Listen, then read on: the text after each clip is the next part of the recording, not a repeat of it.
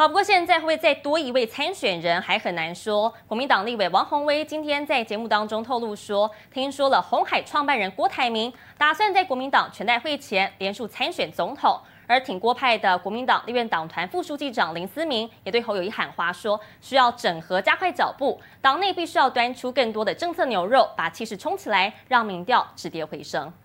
说郭台铭在跟相关的人，尤其是台中中部地方的这个这个领袖们，他们正在帮他展开联署，要做独立参选。媒体人王浅秋在广播节目上专访立委王宏威，两人都有接到红海创办人郭董的最新动向，即将在国民党全代会前向党中央出招。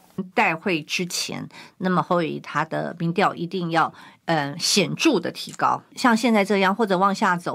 我我觉得七月二十三号会发生什么事情，我也不知道。在基层确实一片焦虑。王宏威道出忧虑，因为一旦郭董独立参选，必然会瓜分蓝白选票。尤其郭台铭在蓝营提名侯友谊前就已经获得地方大佬力挺，这也代表蓝营各地派系很可能会分崩离析。哎，国民党就是乱乱乱，不乱就不是国民党了啦。蓝营整合难，而被视为挺郭败的国民党立委林思明对侯友谊喊话，期盼。母鸡可以加速整合，不然将影响到区域立委席次。